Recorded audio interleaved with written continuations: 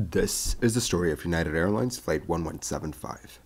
On the 13th of February 2018, a huge Boeing 777 was to take off from San Francisco International Airport to Hawaii's Honolulu International Airport. The jet was packed with 378 people on board.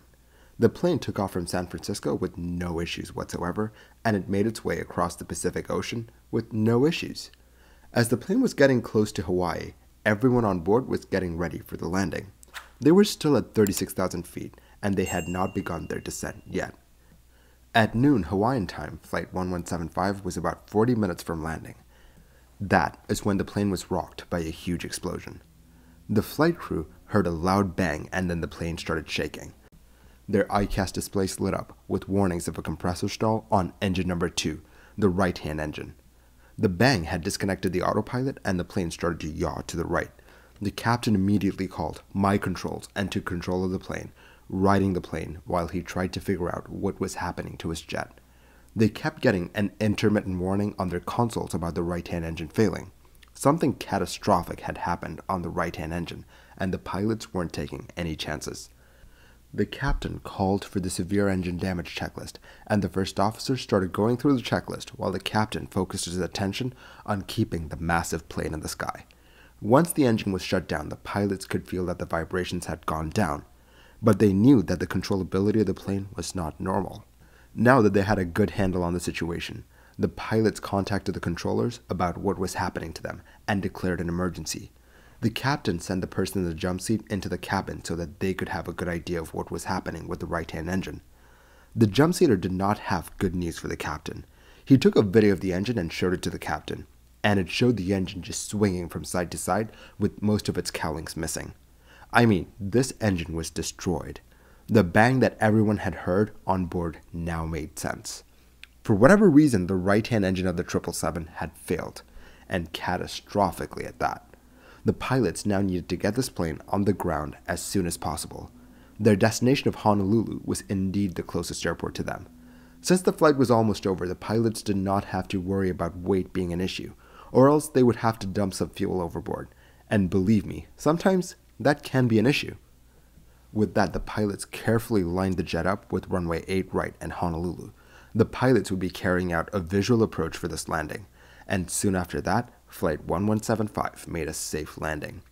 The interesting thing is that mere decades ago, the 777 or a plane like that would not have been able to make this crossing. You see, back in the day, the FAA banned planes with fewer than three engines from flying over large bodies of water because jet engines were new and they failed a lot. So the wisdom was that the more number of engines you have, the better your chances of losing a few engines and making it back alive.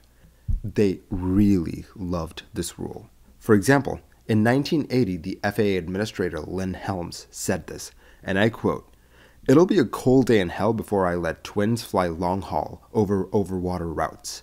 End quote. But just two years later, hell started to thaw as the FAA started seriously studying the possibility of letting twins fly long distances over water. They then relented and let twin engine airplanes fly over water, but not without any restrictions though. You see, each plane had an ETOPS rating, or Extended Range Twin Engine Operation Performance Standards, or more colloquially known as engines turn or passengers swim. It's basically the amount of time a plane can legally fly away from a diversion airport. In the case of the 777-200 that United was flying that day, it had an ETOPS rating of 180 minutes. In other words, at all points in its journey, it had to be utmost 180 minutes away from a diversion airport. So if something did go wrong with one of the engines, the plane could safely reach an emergency airport on just one engine. In the case of Flight 1175, all that ETOPS preparation came together perfectly to get this damaged plane back on the ground in one piece. Well, not one piece, but you know what I'm trying to say. Once on the ground, they could finally see the extent of the damage on the plane. The number 11 blade on the engine was broken, and they found shards of the fan blade embedded in the exit guide vanes of the engine. The interior of the casing of the engine cowling was coated in Kevlar, and the interior was pretty banged up. I mean, that's understandable. It had a front row seat to an engine disintegrating. The engine had torn itself apart to the point where inlets were no longer attached to the engine. But thankfully, the worst of the damage was confined to the engine, and that's a big deal, as flying debris can impinge on anything from fuel stores to hydraulic lines to the people who are sitting inside the cabin. So, what happened? What caused the right hand engine on a 777 to catastrophically fail, putting 378 lives at risk? Well, the engine in question was a Pratt & Whitney PW4077, and it had accumulated 77,593 flight hours in 13,921 cycles. To understand what this engine had been through, they started to look through the maintenance history of the engine that failed, specifically on the blade that had snapped. They found out that the blades had undergone two overhauls, and the overhauls included something known as thermal acoustic imaging, or TAI. Thermal acoustic imaging is a tech developed by Pratt & Whitney to non-destructively test fan blades for cracks, especially cracks that start from within the blades themselves. Tests had concluded that these blades had cracks in them that originated from an area of microtexturing, which primarily consisted of alpha particles. Now, I am not a metallurgist, but from what I can tell, titanium, the stuff that the fan blades were made out of, has two phases or molecular arrangements, if you will an alpha phase and a beta phase.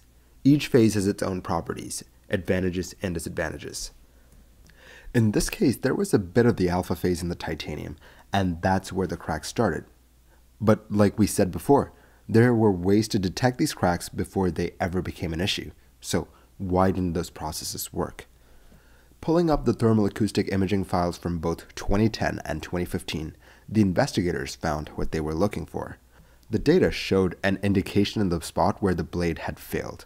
The data from 2015 revealed a bigger indication. The test was telling them that there was a crack in that location and it was just growing over the years. But unfortunately, the inspectors who were looking at the data just said that what they were seeing was a result of the paint that was used on the blades. And so, with that mistake, these faulty blades were pushed back into service. The people who inspect these blades are highly trained and highly educated. So there's more to the story. Thus, the investigators kept digging. You know how I told you that these inspectors are highly trained and educated? Yeah, that's true, but there's an asterisk here. The investigators found out that Pratt & Whitney didn't really have a training and certification regimen for these inspectors. The first person that inspected these blades were trained by the engineers who developed the technology, and the second inspector was trained by the first inspector. This was like a high tech version of the game Telephone. This was because TAI, a thermal acoustic inspection, was an emergent technology, and it was still being worked on and refined. Now, this is where the story becomes really insane. The inspection of these blades took place in a room in Hartford, Connecticut, and the room had large windows. Now, you're probably like, wait, what does windows have to do with how an airplane engine exploded? Now, Dear imaginary viewer that I just made up, bear with me. In the afternoon, the sun would shine through the windows into the room, heating it up. It would get so bad that one AC unit couldn't keep up, and so they had to bring in another AC unit to keep the room temperature right. But it wasn't perfect, and that is because TAI, a thermal acoustic inspection, needed the temperature to be just right because it was just so sensitive.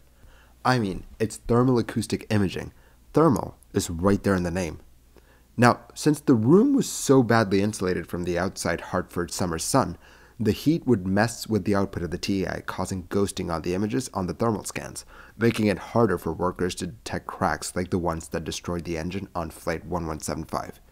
Thus, due to those mistakes, cracks could, well, slip through the cracks. For such a high tech problem, the solution was pretty simple a new AC unit and some tinted windows. Well, who would have thought it? Another problem here is that the inspectors were never told anything about the blades that they did reject. They were never told if the rejection that they made was right or if an incorrect rejection had been made, and they were never told why they were wrong. So, in a way, that robbed the inspectors of the opportunity to grow from their own mistakes. And then it led to something like this. I guess if something can really happen, it will happen, huh? Well, that's it for this episode of Mini Air Crash Investigation. If you like the videos that I make, do consider liking and subscribing. It will really help the channel grow. I will catch you guys next time. Stay safe.